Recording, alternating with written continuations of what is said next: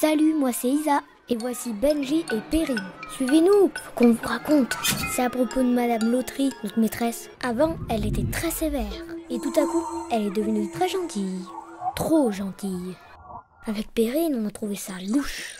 Surtout quand on a trouvé un nounours sur son bureau. Un nounours beaucoup trop mignon. Notre maîtresse n'est plus la même.